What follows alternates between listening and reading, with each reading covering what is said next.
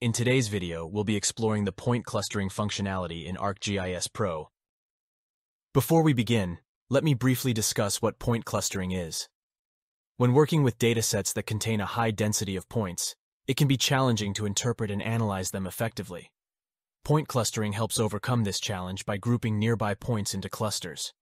If there is a high density of points, it will cluster your data proportionally and represent it with a larger clustered point. But for a low density of points, it will use a smaller clustered point, or it won't cluster them at all. ArcGIS Pro provides a simple way to perform point clustering that's much easier than its predecessor, ArcMap. The first step is that you need to add points to your map. So the dataset that I'm going to use today is the United States National Parks layer. I'm just going to drag and drop it into my map. Next, I'll just zoom into my layer a bit better. So as you can see, we have over 400 points scattered across the United States. To use point clustering, I'll have to first click my layer in the table of contents. Next, I'll click my contextual ribbon where it says Feature Layer. So as you can see, there's a drop-down for Aggregation. Now, I'm going to click that button. Finally, I'm going to select Clustering. So as you can see, we now have circles that are proportionally sized to the number of points that it's clustering.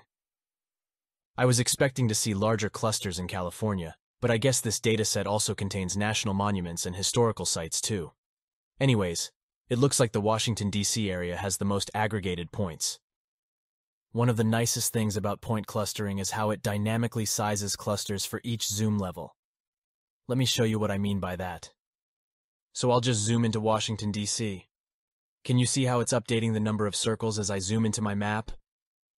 You can actually use this feature in ArcGIS Online as well, which is perfect if you have a lot of data points. But the only downside is that there are some limitations on how many points you can display.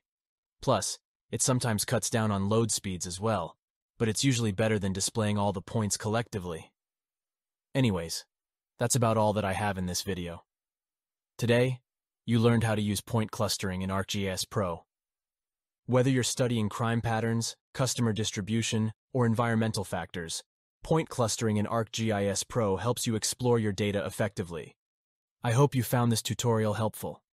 If you have any questions or suggestions for future videos, please leave them in the comments section below. And don't forget to like and subscribe to our channel for more geospatial insights and tutorials.